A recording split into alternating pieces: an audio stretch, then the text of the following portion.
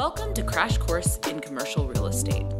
We converted our in house training program to a podcast to teach you prospecting, negotiation, business planning, and other fundamental skills to become a successful commercial real estate agent. And now, here's your host, Brady Collier. All right, welcome back to Commercial Real Estate Training. This is our third video on prospecting. We're going to start out with how to leave a voicemail. And so, Shannon, I've got a voicemail here that was left by a real estate broker on my voicemail. I'm going to try to play this here, and then I'm going to get Kyle's feedback on this. Hey, Brady, this is Britt Raymond with SRS. I am reaching out to introduce myself. I understand that you are active in developing in the West Texas area. I'm an investment sales agent that works with developers like yourself to help them source new opportunities, introduce tenants, and ultimately sell the finished product. I'd love to talk to you about our services and where we could add value to you and your team. Please give me a call when you get a chance at 704 517 4712. That's 704 517 4712. I also have your email address. I'll send you some information about um, myself and my team. Feel free to get back to me that way as well. Thank you. End of message. To delete. Okay, so I hope that everybody out there could hear that. Um, so, Kyle, let's just run through what was in your mind sticks out because when you're prospecting, you're going to get a voicemail a lot. Shannon, you're going to get a voicemail a lot and you're going to leave messages because if you, you think, oh, I don't want to leave a message. If you don't leave a message, there's no chance they're calling you back. If you do leave a message, then when you call them back, they remember your message and you're just one step further down the road because they already know who you are. So you are going to leave messages whenever you're pros- prospecting. Um, and so, Kyle, this, this is Britt Raymond, SRS. Um, she's a power broker out of New York. She's really, really, really good. There's things that she did great on that voicemail. Let's talk about them. Yeah. So, a couple questions because I know how it ends because I, yeah, I'm familiar with Britt. But did uh, what'd she email over? Okay. Well, I got to be 100% honest. Britt has sold several assets for me because she called on me. She met with me at a conference. She has sold several, several deals for me.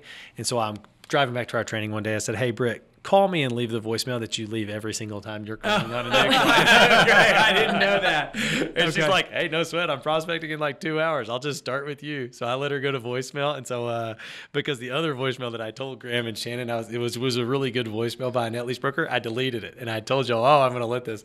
So somewhat mm-hmm. staged, but she leaves the same voicemail. Very for, much staged. Uh, very much staged, but she leaves the same voicemail for everybody. Yeah. So let's talk about what she did well. Okay, so I think she was that was full disclosure. Yeah, yeah, yeah. honest and all. Thanks. Yes. So confident. She was confident. Very um, confident. You could tell she was an expert. She was comfortable on the phone.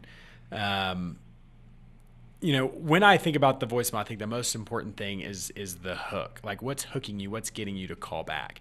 And the one thing in that, a lot of it, honestly, was a little general. That you, you there's a good chance you may not return that voicemail, just depending on when you get it, how busy you are, how many voicemails you're getting. There needs to be something that forces you to want to call back. And maybe she's going to follow up with that in her email. That's right. That's why I asked what she sent over. But one thing she said in there is that we like to make tenant introductions or something to that. She effect. did say that. She said her business is not just selling the assets that I currently own, but when there's tenants looking in in my area, she wants to introduce them to me because she knows what tenants are going around. So that was her hook. That's the hook. Is that I want to add value to you by bringing you tenants. And her partner Kyle Fant, he, he really does. They really send us tenants. Hey, we heard so and so is looking active in West Texas. Y'all should call on them. And they said we're not going to send these leads that we get to anybody else. Y'all are the developer. We want to work with y'all. And so they very they try very hard to be a value add in that regard. Because everyone wants to sell your everybody asset. wants to sell, and yeah. so that that doesn't necessarily incite you to. They're to the only back. net lease brokers I've ever worked with that said, I want to have a constant flow of tenants to introduce you to so you can develop shopping centers around them so I can turn around and sell those. It's good for you, it's good for me. Right. So they said we track those things. So that was her hook. Mm-hmm. Um, what did you think was great about what she did? Um, I mean, I thought she she I noticed she stated her number twice. Awesome. So I, I made that's one of my pet peeves when people leave their number and you don't catch it, and you're like, you got to keep re-listening to the voicemail. Yes. So then, in this business, my guess is if you have to I've not to it, called you're people back before because of the number. Like, All oh, I didn't get it, and uh, and you. if you're not competent enough to make your number clear, you don't. Yeah. So that's a great one. Very good. Talk to me about her tone, her voice, her. I mean, just because I thought she was warm. She sounded warm. She sounded upbeat. Yes. You can tell she's smiling on the other, like through the phone, the way her voice comes across. And so, and she, and I understood everything she said. Very clear, very confident, sounded very competent. That's because she is very competent. And so, um, Concise, like it didn't go on forever. Yeah, You could- she didn't wear too me long out of a on that. voicemail. And then she said, "I'm going to follow up." If you just call and say, "Yeah, give me a buzz back," and you put the full burden of follow up on them, you're not. Gonna, but if you say, "Hey, I actually have your email here. I'm going to follow up with an email in case you want to reply to me that way," and then in that email you can put as much or as little as you want to. So I thought that was also a nice thing that she initiated the follow up. And if I don't call her back within a week, she's going to call and say, "Hey, Brady, this is Britt again. Just want to call and see if you got my email.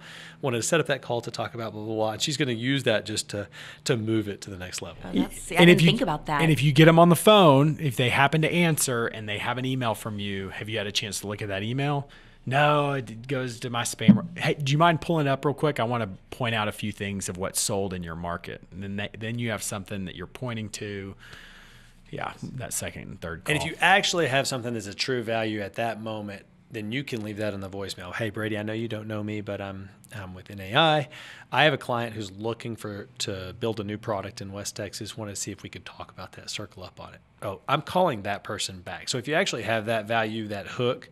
So she said, "I'm I've got this," but if you have it, then say it in the voicemail. That's the one thing I would say in the voicemail that was lacking is there wasn't something so strong that would immediately force the callback, which makes sense because it was Staged. Staged. Yes. Like when she makes the call, she might have that thing. And to really emphasize the importance of ongoing prospecting, to use this real example, I mean, there's no telling how many times Kyle and Britt called you guys you know, probably a dozen times. Then you have a meeting at a trade show in Las Vegas.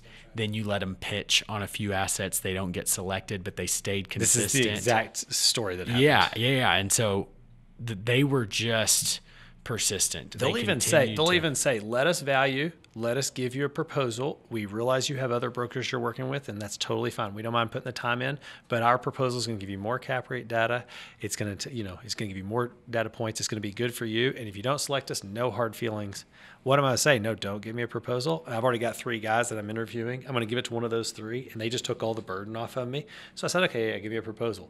Well, after two proposals, when they had the most aggressive pricing, all of a sudden they're in the top three and one of those other guys who was always the you know not the most aggressive pricing dropped off my list. And that's how they worked their way in and now they've got two different properties for me on the market right now. Yeah, very long approach. i'm a real estate broker. They are listing my properties right now putting them out on the market for me because they're experts they're true value. I want to go uh, do a, a few more things before we close this out. So voicemails. If you have questions on that i think uh, thinking through that ahead of time is valuable. We've been doing all of this on phone prospecting. Is phone prospecting the only prospecting no but why do we focus on the phone? volume. Volume. Because when I was trained in real estate, he said, man, people like face to face. Face to face is great. But for you to set a meeting, go to their office, shake their hand, come back to the office, you have invested an hour, uh, hour plus of your time. During that hour, the other broker right across is going to make seven or eight prospecting calls. You've called on one client, they've called on seven or eight clients. He said if you just do the math in the hours in the day, you never hit 150 outgoing prospecting connections if it's all face to face. But face to face, if you can get a face to face with a decision maker, that's more valuable perhaps than 10 calls. But for volume and to build a huge business, it's going to be a lot of phone work. Yeah, so you start with the the easiest to do the most of that's the least effective would be email or mailers. You know, you can do thousands of those, whether they're mass or direct. They're super easy, but probably the least effective. Um, then phone calls, a little bit harder to do, a little bit more of a barrier, a little bit more effective. Face to face, A whole lot more effective. Phone calls are a whole lot more effective than emails. right, emails. Right. And then most effective is getting in front of somebody face to face, but it's the hardest to do, the hardest to schedule, the hardest to catch somebody, and you can do the least of it. And so I think all of them need to be part of your prospecting and part of your business, um, but making sure you split them accordingly depending on what your focus is. And a lot of the businesses that um, owners that you're calling on, they may be Lubbock people. You may have known them 20 years. Go in and visit them. It's warm. You may need to do that, and that may be the best thing with some of your time in the early weeks. Um, but Britt lives in New York City. I'm in Lubbock, Texas, and I'm one of her clients that lists assets with her all over the, you know, all over West Texas, but she has people like me all over the United States. Well, you can't do that face to face all over the United States. So it just depends on what type of commercial real estate business you're in, determines what balance.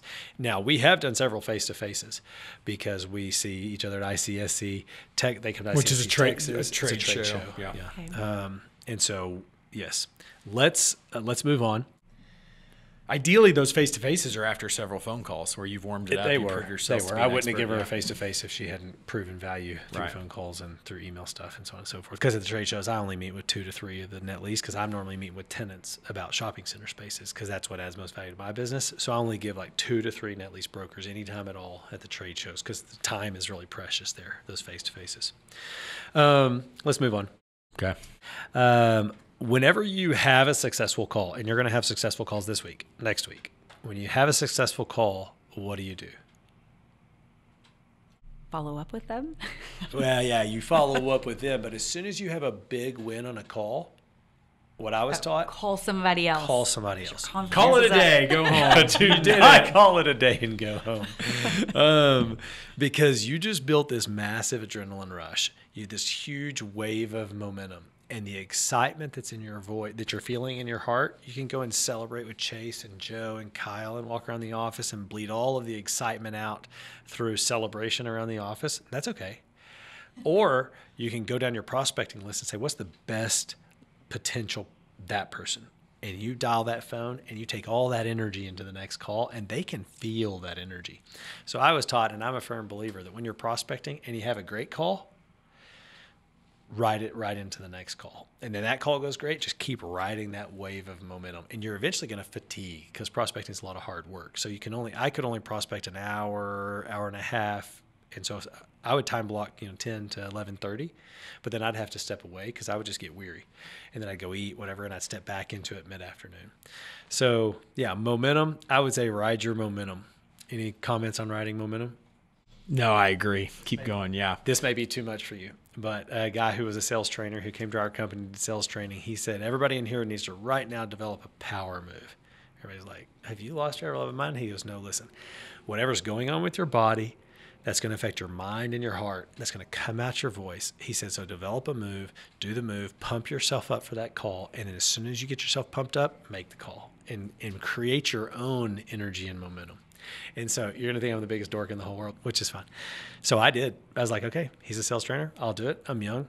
So I, I developed my power move and I do it before every and while I was prospecting every day for years. And no, no Was it a fit? Was that it? Yeah, it was, share- it was my double fist bump. Double fist it. I was like, okay, I'm going into this call, and I'm getting myself psyched up, and I'd double fist bump, and then I would dial. Oh, it's not listening to ACDC No, right no, no, before no, no, you. No, no, I don't do ACDC. I fist bump. Um, okay. Uh, the other thing I'd say, whether you do your power move or not, um, this is all momentum stuff. I like to picture an ideal outcome. When I call this person, I've got value. They need my value. They're better off if they take my call. This person, we're going to make money together. Um, I'm going to become a trusted advisor to them. Like, uh, remind myself of all the good things and then take that positive mentality into the call. And when they hang up on you, when they reject you, it's easier just to blow it off, let it go, and then keep going because you stay, yeah, you keep yourself in a right state of mind. And in your state of mind, that's your responsibility. That's not their responsibility. And so you have to keep yourself in a right state of mind.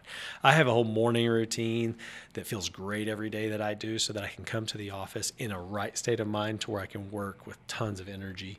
And so I think your state of mind is super important when you're prospecting. Thoughts before we go on? I agree. I Okay. agree. Nothing to add there. Um, remember why you're doing it. I'm doing this because this is how I'm going to build my business. And if I do this, if I do the right things, this is how it's going to turn out for me. Um, I'm going to be here in a year if I just keep doing the right things. So remind yourself why. So um, power move. Keep yourself in a right state of mind. Remind yourself why. And then my last thing is enjoy it. Laugh off uh, rejection and revel in success. Just enjoy the ride because prospecting for me is the biggest adrenaline rush. It's just a huge blast of energy. And in, in my sales career, it's one of my favorite things was picking up the phone and dialing for dollars. Even when you were brand new. Hey, when I was brand new, but I'm a, I'm a guy who likes a challenge. I'm going to go play in a volleyball tournament tonight, and uh, I'm the worst guy in the team, and I like a challenge. I'm like, I'm going to rise to that occasion. So I love it. I love a challenge, and so it gets me psyched up every time. And then when I prospect today on something or with somebody, say that you want to make 20 calls together, bring me your list. We'll dial together. You'll hear them hang up on me. You'll hear me get rejected. We'll have some wins, and so I still enjoy it. And remembering what's the worst thing that could happen. And I'm not saying visualize that, but it's not that bad. It's not that bad. Not that bad. It's Yeah, not like dying or anything. It's like, okay, that person didn't realize the value. Sometimes the worst thing is a good thing. If they hang up on you and they save you a bunch of wasted time, you know, that's really not that bad. Yeah. Um, okay. My last thing on prospecting get a few great clients. Kyle, how many great clients do you have? Five. Seriously? You counted them all in your mind? Uh, Brian, Tony, Brady, so on and so forth. yeah, four, to five. Four, to five. Kyle has an amazingly successful real estate career. He's doing amazing. He has five great clients and he's built a whole business around them. So, my last thing on prospecting find five great clients, prospect to help them achieve their goals. And that'll guide you, that'll, that'll drive you forward. It's going to be great. Do you have any uh, closing, parting shot questions, thoughts on prospecting? Not yet. You're going to. There will be some to Yes, come. you're going to. If you do all of those things, you're gonna. It's gonna be great, and you're gonna do great at it. Any parting shot for her? That's all I got. All right, that's prospecting number three. Let's go get on the phones. Yeah, let's go dial.